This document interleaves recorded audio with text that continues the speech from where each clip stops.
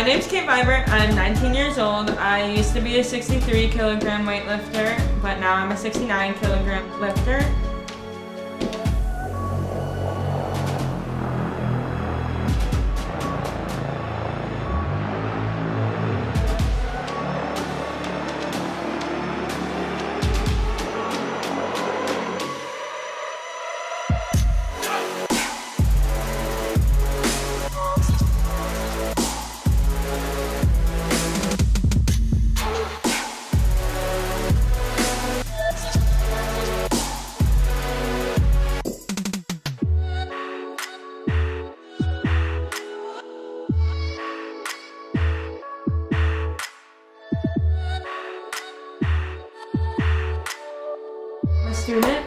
Oakland University, but I'm probably going to start going part time because I need to focus on trying to train for the 2020 Olympics.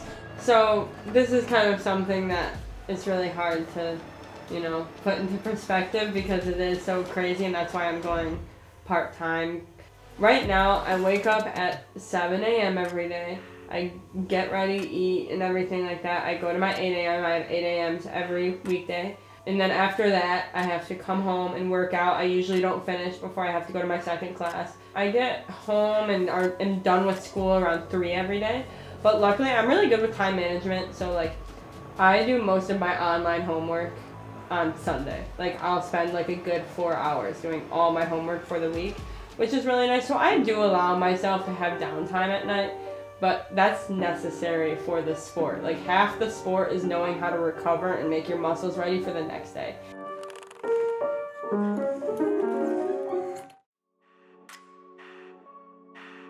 I broke a junior American record in August here in Michigan actually. It was 96 kilos, which is about 211 pounds. I completed this weight by lifting the barbell from the floor to over my head in one fluid motion.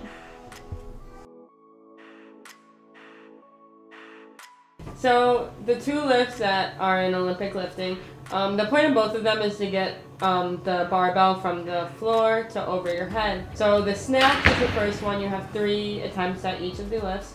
And the snatch is one fluid motion from the floor to overhead. And you usually catch it in a squat position. So you're squatting with your barbell over your head.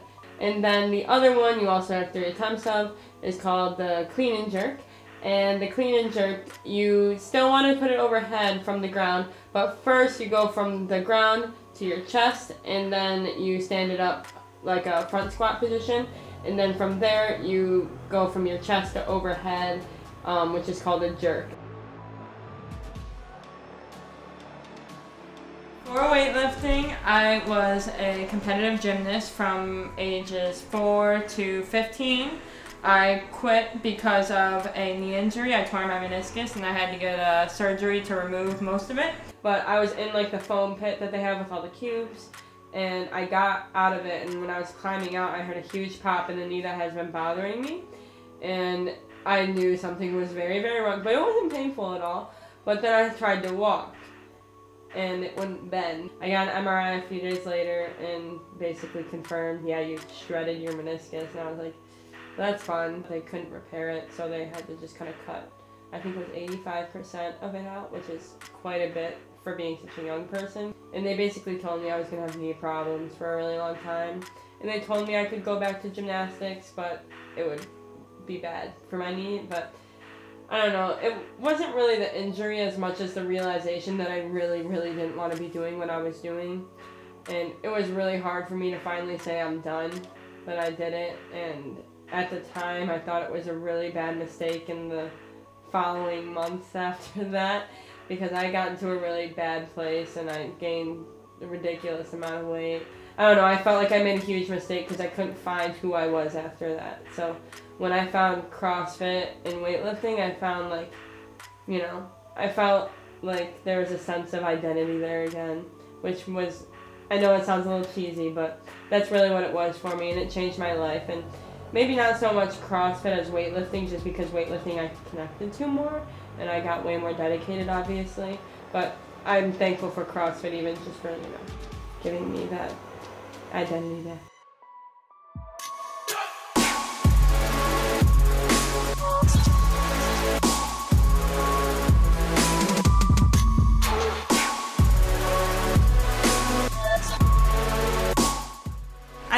My favorite part of the sport is just the feeling of being powerful and strong and knowing I can always improve. Um, when I was a gymnast, I always kind of felt like I was at a dead stop, like, oh, I can only be this good, I can only get to this level in the sport. But with this sport, all you got to do is lift a little more weight and put a couple more kilos on the bar. And I think that's kind of an easy concept to think about. So I really like the simplicity of it. And you kind of get that constant, you know, reassurance that you're improving because all it is is a number. And if it goes up, you're doing better. 125 kilos. so About 275 pounds. I would say my biggest failure thus far was at Junior Nationals last year. I was trying to make Team USA, and all I needed to do was make one lift of each of the lifts I have to do, and I didn't, and I totally bombed out, and I couldn't even place because of it, and I obviously didn't make Team USA because of it. So that was really hard on my confidence because I knew I would have to wait a whole another year to make Team USA. So it was kind of hard, you know, going back into the gym knowing I would have to wait a whole year just for a chance, even though I just failed and there's another chance that could that could happen again. Um, just talking a little bit about what she does and, and how amazing and incredible it is. And, you know, I, uh, I actually was a college athlete. Uh, I wrestled in college at a Big Ten school. It's a pretty high level athletics and uh, one of the better teams in, in the country. And uh, having said that, I know what we did every day, which was pretty difficult. And then I see what she does every day. And I would have never done what she does every day, even when I was doing uh, back doing two a day wrestling. I work out with her a lot, and I see uh, the squat she does. It's kind of funny. Sometimes we work out together, and I work out every day, and I do my squats, and then she puts another hundred pounds on it and does her squats. I see her crying in between sets and still see her get back up and do it again and do it again. Also, what's incredible is to see her rise on such an international level in such a quick time too, or a quick period of time. She only started this about two, two and a half years ago, and to become basically the best female weightlifter under 20 in the nation in that short period of time, that's pretty amazing too. Uh, I think that makes a, her a very amazing person and do it, like I said, on a national and international levels, pretty, pretty impressive to me as her dad.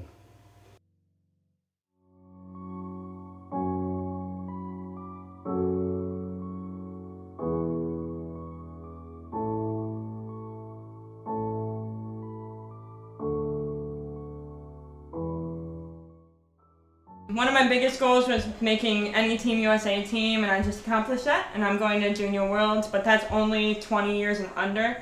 Um, I'm really trying to break into that Team USA level where it's everyone, which is senior. So I'm hoping by the end of next year, I want to make a senior team.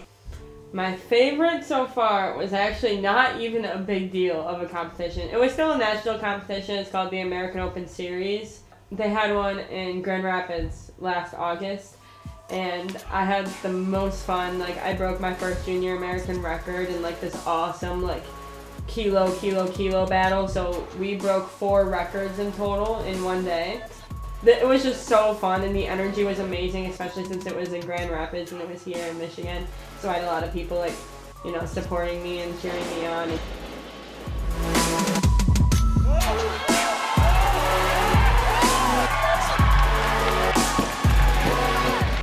I ended up going three for three, which means I got all my lifts in the snatch, and I ended up making that junior American record, so I got to keep it, which was just a phenomenal feeling. And every time I look at that video, I get chills because I remember like that moment was just like, you know, everything felt like so awesome and exciting.